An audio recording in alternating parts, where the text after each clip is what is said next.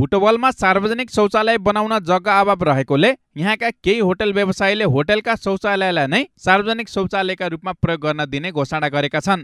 काठमाडौँ महानगरपालिकाका प्रमुख बलेन्द्र शाह उपप्रमुख सुनिता डङ्गोल र वडा अध्यक्षहरूसहित जेठ दुई गते बसेको पहिलो बैठकले पहिलो चरणमा होटेल रेस्टुरेन्टमा सर्वसाधारणका लागि शौचालय सुविधा उपलब्ध गराउन साताभित्र सञ्चालकसँग सम्झौता गर्ने निर्णय भएको थियो।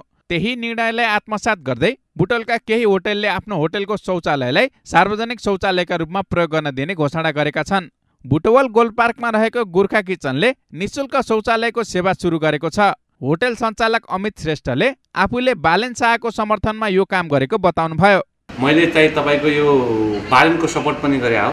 र यो उहाँको सपोर्टलाई मात्र होइन उहाँलाई सपोर्ट मात्र गरे होइन यो खबरदारी पनि हो। भोलि उहाँले काम गर्न सक्नु भएन हाम्रै चाहिने साधारण नेपाली जनताहरूले उहाँलाई खबरदारीको पनि हामीले गर्नुपर्छ। र मेरो यो यही बुटोल हाइवेमा तपाईँको गोर्खा भन्ने रेस्टुरेन्ट छ जहाँ तपाईँको पाल्पाबाट गर्मी धुलो भएर आइरहेको हुन्छ सिद्धबाबामाको धुलो भइरहेको हुन्छ। धेरै धेरै मान्छेहरू यहाँ चाहिँ हातमुख धुन पनि आइरहेको हुन्छ। सो सो द्याट मैले त्यो प्लस उहाँबाट इन्सपायर भएर पनि गर्न खोजे हो। बुटवल मैत्री पथमा रहेको रोयल फुड कोर्टका सञ्चालक सुरज छेत्रीले पनि आफ्नो होटेलको शौचालयले सार्वजनिक शौचालयका रूपमा सेवा सुरु गरेको बताउनुभयो।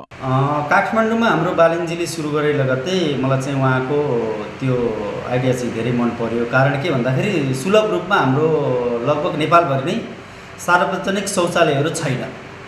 अब छ न त छ तर दुर्गन्धित सफा नहुने अनि त्यो पनि पैसा लिने त्यस्तो विविध प्रकारका समस्याहरू भएको कारणले गर्दाखेरि त्यो सबैलाई थाहा भएको कुरा पनि हो। मलाई पनि धेरै मन पऱ्यो त्यो आइडिया त्यसपछि एक त रेस्टुरेन्टलाई उहाँहरूले फोकस रेस्टुरेन्ट पेट्रोल पम्प लगायत अरू कुराहरू पनि फोकस गरेको कारणले गर्दाखेरि मेरो आफ्नो रेस्टुरेन्ट भएको नाताले मैले पनि मबाट केही हुने सहयोग मात्र मैले आफ्नो तिनवटा शौचालय चाहिँ सुरु गरेको छु विश्व स्वास्थ्य सङ्गठनका अनुसार प्रत्येक तिन सय मिटरमा एउटा र सार्वजनिक स्थानमा पचासजना बराबर एक शौचालय हुनुपर्ने मापदण्ड तोकेको छ।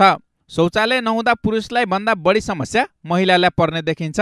यसै गरी सबै क्षेत्रका होटेल तथा रेस्टुरेन्ट व्यवसायीले आफ्नो शौचालयलाई सार्वजनिक शौचालयको रूपमा प्रयोग गर्ने वातावरण बनाउन सके खुला दिशा पिसाब मुक्त सहर बनाउन सहज हुने थियो।